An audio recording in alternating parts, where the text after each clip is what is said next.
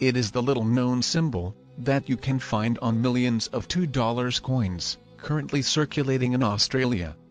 The tiny HH stamp can be found on 1988 and 1989 $2 coins in the bottom left-hand corner on the lower chest of the indigenous man featured on the tail side. The symbol represents the initials of Horst Heyne, the Royal Australian Mint chief engraver, at the time the coins were first introduced.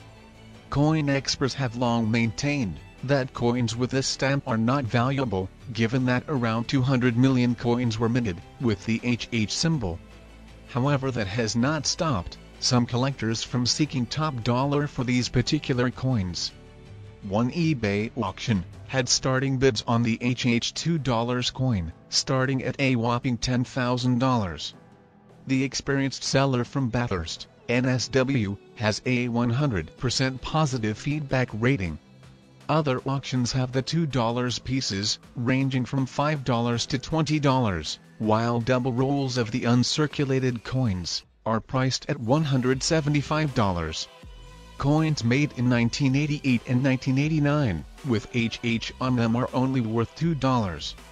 As there were 198 million of these minted.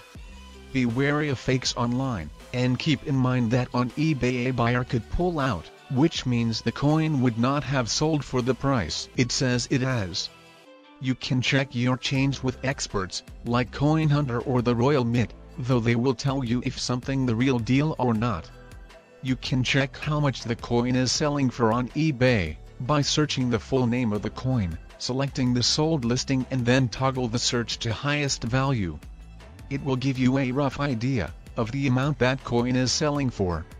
But remember, coins are only really worth what someone is willing to pay for them.